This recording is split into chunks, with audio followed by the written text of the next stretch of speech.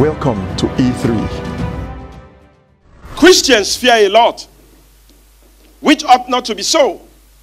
Because the Bible says, In nothing be terrified by the adversary, which is to them evidence, token of defeat, but to you, salvation and of God. So the believer is not supposed to be afraid. But the believer is always afraid. I don't blame some of you. Since some of us were born, you know, somebody was questioning why is it that Africans don't plan long? We don't plan long term.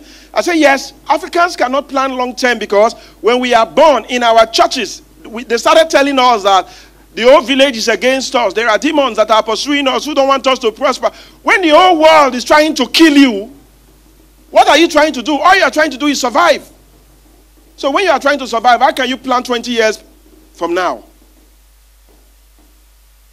So our thought process is limited because of fear.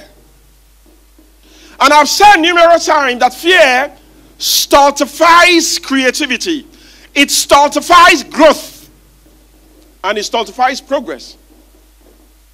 You can never make progress when you are afraid. You can never make progress when you are afraid. So the believer is not supposed to be afraid. The believer is as bold as a lion. We are not supposed to be afraid. We are supposed to deal with our fears. You know, I've had the privilege of raising a lion, and I have seen how lions behave. When I was in the zoo, I, I had a, a young lion that I was trying to domesticate. And there was a day, a very young lion, I used to play with it carry it, play with it, draw manner of fun. It was so much fun, you know.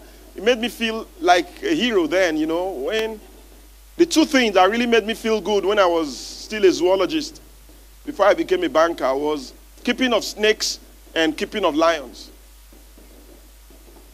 Because an average human being fears snake, right? And an average human being is awed by lions.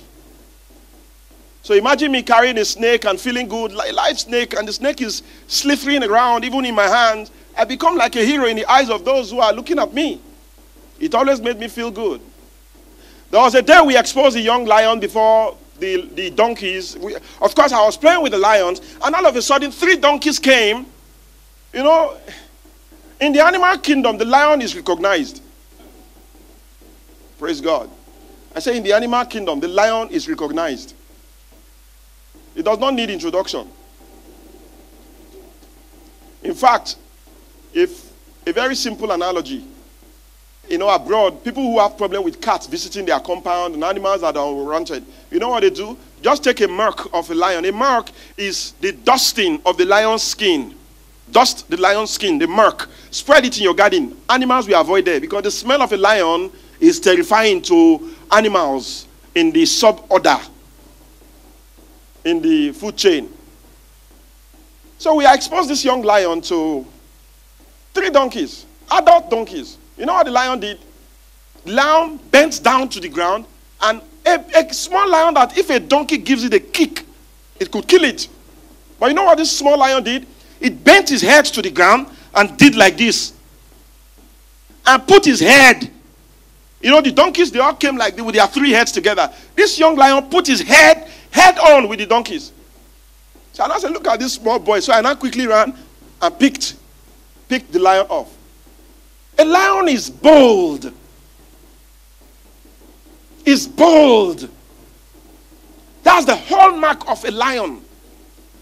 And the Bible says that believers are as bold as a what? If you are afraid of a cockroach, are you as bold as a lion? I don't know why I said it where I said it. Oh, it was not deliberate. Praise God.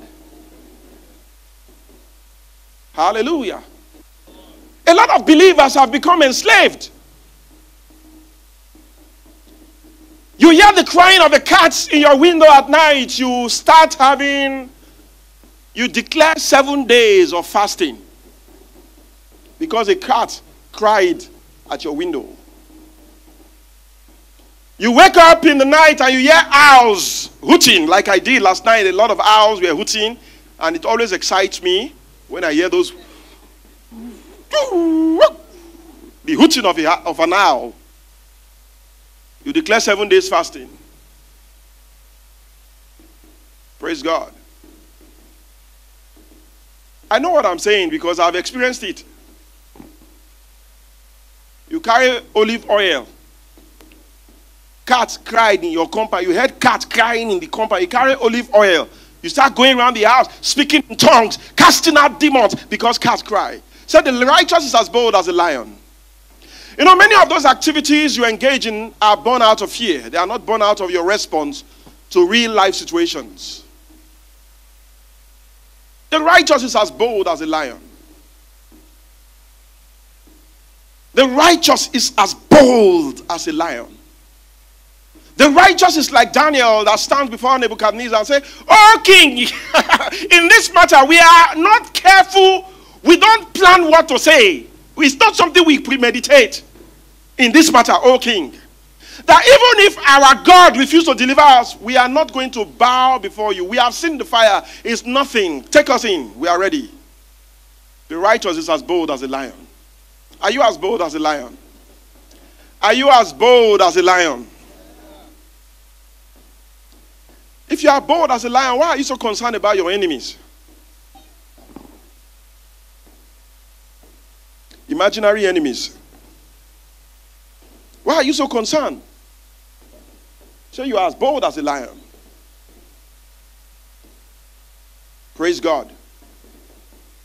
For many years, the thought of you shall take up serpents and scorpions and none shall hurt you plagued my mind on how to make that statement practical.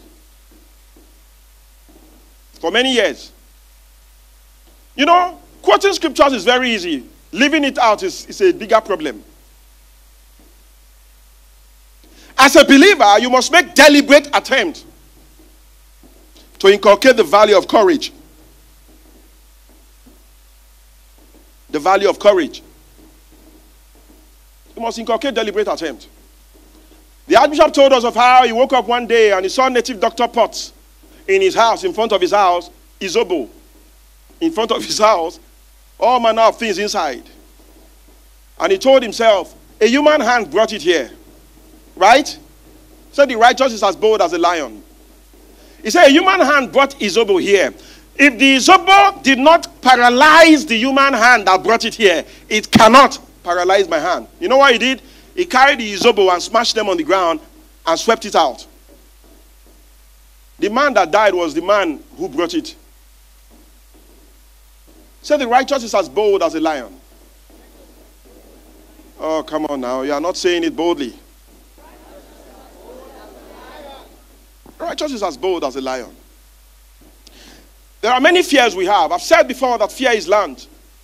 Fear is the opposite of faith. Fear and faith are two sides of the same coin.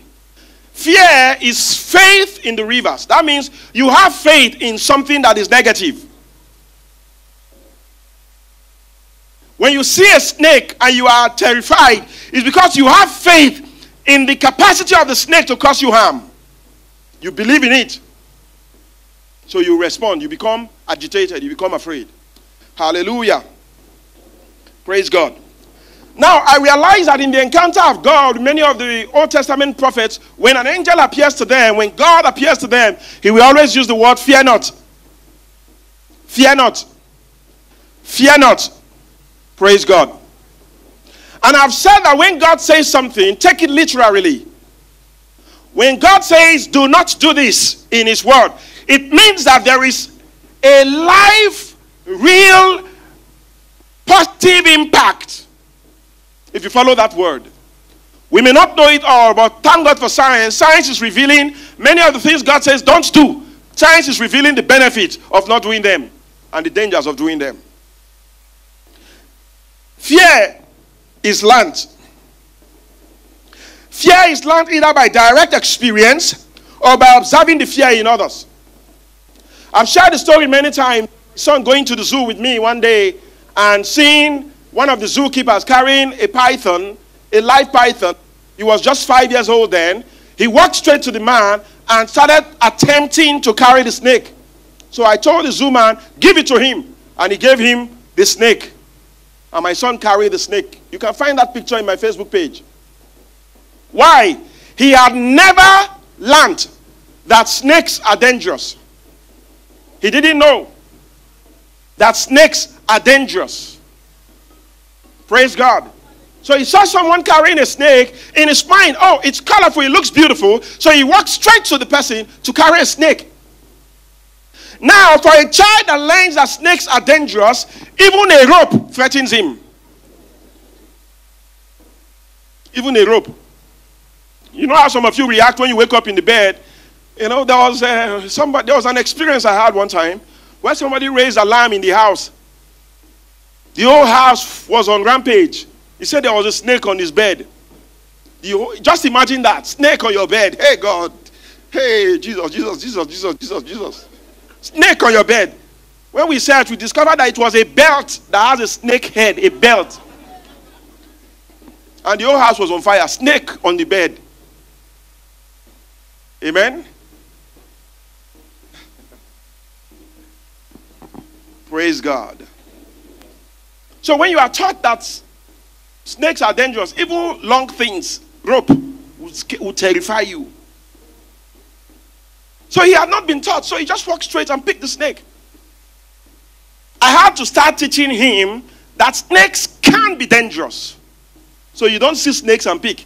Because I was worried that he could see a cobra and attempt to pick it that way.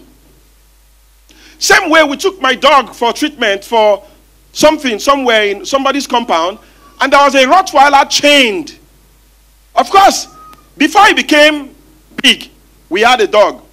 So his dogs as nice pet. A Rottweiler that sometimes demons enter them a lot was chained to a tree, and my son just came down from the car and was going to grab the head of the Rottweiler. so we quickly snapped, say, Come on, this dog has demons in it. Oh. Praise God. So fear is learned. We learn it either by observing other people's experience or by our direct experience. Hallelujah. I said I will speak about different types of fear. There is the fear of death, the fear of ill health, fear of poverty, or the fear of failure. There's the fear of criticism. There's the fear of loss of love of someone. The fear of old age, which is also related to the fear of death. These are many of the fears that plague our lives. For believers of this modern era, there are other fears. There are other fears. You know, a lot of people have told us in this church, we don't pray, we don't pray, we are not, we don't like prayers. In fact, I've heard people say that Pastor Osas does not like prayers. And you know, when they say that, I just wonder really? Are there people that don't like prayers? Are there really human beings that don't like prayers? There's, there, people have said it that Pastor Osas doesn't like prayers. And you know, sometimes I'm quick to remind them that I grew up a prayer warrior. It's just that now, because of knowledge, my prayers get answers faster. So I don't exert too much energy like I used to. You know, in those days, on weekly basis, I hold all night. Look, the kind all night I was holding is not the type that pastor calls for. My own. In my own room on weekly basis, I must hold that all night. You know, the thought that there are witches holding meeting in one banana tree near the house there keeps me awake for all night. Ah, how can I be sleeping when witches are having meeting? Praise God. And you know the kind of prayers you pray when you are thinking about witches. You know those type of prayers. you know the type of prayers. You know, to set you up on the krinkum krankum warfare, strategic level spiritual warfare kind of prayer is very easy. It's very easy. I'm sure you've attended some of those churches. Now, if I come and tell you of how, as I was coming from Lagos,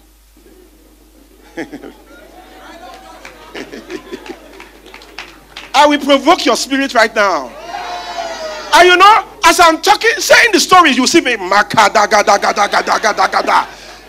I've not, I've not said pray. I'm just telling you the stories. Have you not heard those testimonies? As the witch was going to strike me, I said, Jesus. You said your orders, Jesus. Ah, you said the Holy Ghost is here. Praise God. Many of those things are created out of fear. They are not scriptures. They are not scriptures. So, what usually do we do? We stalk fear, we instigate fear in your heart so that you will be provoking your spirit to, in quote, pray. They'll tell you of the terrible things the devil has done. They'll tell you of how witches confessed in the village that your uncle that died, they were the one that drank his blood. They'll tell you a lot of things that, that ignite your anger. And you start praying out of anger. Of course, when you are praying out of that level of anger, it is called praying in the spirit. Or wrongly, anyway. Praise God. So when I come here and say, Jesus, I thank you for your love, my needs are met. All things that pertain to life and godliness you have given me, that I may enjoy divinity, all things are mine. My heritage is good. You've planted me like a tree by the waters. I yield my fruit in season and out of season. I will not cast my vine before its time. All things are working together for my good. Even that situation that looks like a misfortune, I know is a blessing waiting to happen. Praise God.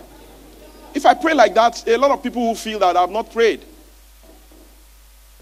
So, fear is a major factor in many of our experience of the God life. Many of our interpretation of Christianity is born out of fear.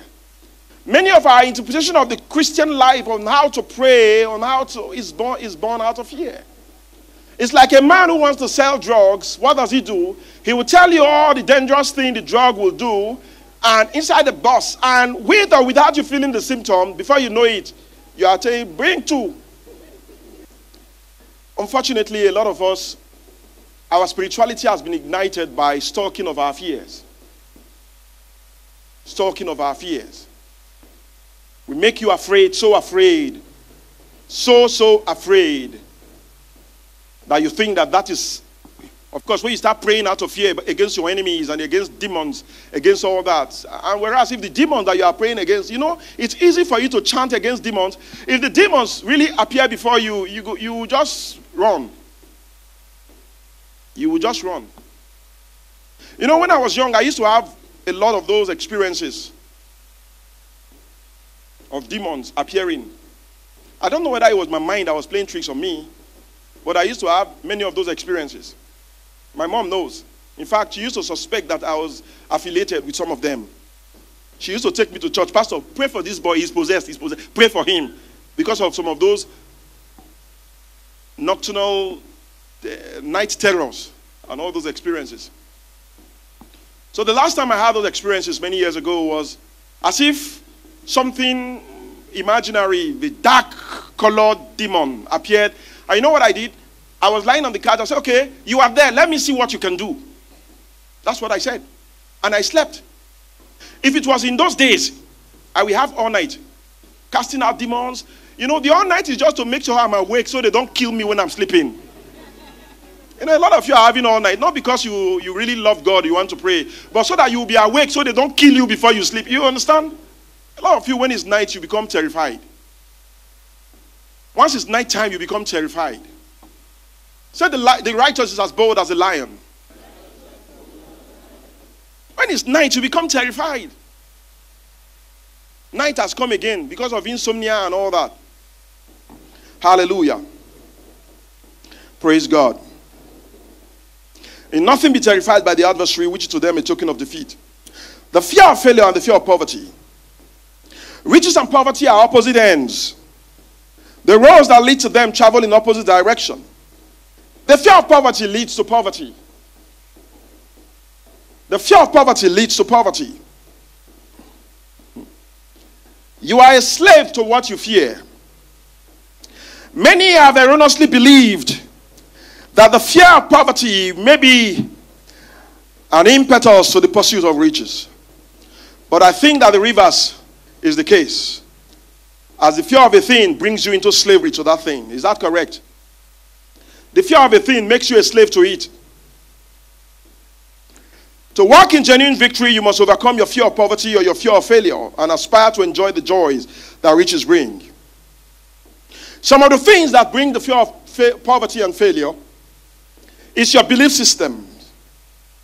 There are many of us here who believe that when you are rich, you, you will not be a good Christian. If you have that kind of belief, you can never be rich. And how do you know you have those kind of belief? Every successful man that crosses your path, you have a criticism for them. You know that they are doing illegal business. That's why they are rich. Because in your mind, you so fear wealth and you believe that there is no way under the sun you can be rich working hard. So when you see anyone that is successful, you suspect that they are doing the wrong thing. So the fear of poverty could also be interpreted as a reverence for poverty and is many times a product of wrong beliefs. To kill your fear of poverty, you must review your beliefs about poverty. Hallelujah. What are the evidence of the fear of poverty? Indifference, expressed through lack of ambition, willingness to tolerate poverty, acceptance of whatever compensation life might bring without protest, mental and physical laziness, lack of initiative, imagination, enthusiasm, and self control. These are evidence of fear of poverty. Indecision. Staying in the fence. You don't want to fail. You don't want, if I take this one now, I fail. If I take, you are afraid to just take decisions. Doubt expressed through ex- excuses designed to cover up, explain away, apologize for one's failures, sometimes expressed in the form of envy of those who are successful or criticizing them. You worry a lot, expressed by finding fault with others, scowling and frowning, intemperance, addiction, lack of poise, self consciousness. These are all evidence of the fear of failure. These are all evidence of the fear of failure. Overconsciousness, looking for the negative side of every circumstance, thinking of thinking and talking of possible failures instead of focusing on success, waiting for the right time, like the man that says there's a lion without, so if I go and plant, the lion will consume me. Hallelujah. Remembering those who have failed and forgetting those who have succeeded. Undue pessimism, procrastination, the habit of putting off until tomorrow that which can be done today. Refusal to accept responsibility, willingness to compromise rather than put up a good fight. Bargaining with life for a penny instead of demanding prosperity, riches. Hello, ladies and gentlemen. It's my privilege and my pleasure to invite you to be a part of our service in House of Grace Benin, where we liberate people from the bondage of religion through the gospel of grace that we preach. House of Grace Benin is an arm of Church of God Mission. We are located at number 2 Otubu Crescent, off Aro, off Ekenwan Road, Benin City. We believe that the biggest miracle to happen to any human being is the miracle of self-discovery. And self-discovery only comes by the realization of the truth. When you visit us in House of Grace Benin, you will discover the truth for yourself and your life will not be the same. Our meeting time is 8 a.m. on Sunday morning and 5:30 p.m. on Wednesday. I look forward to seeing you. God bless you.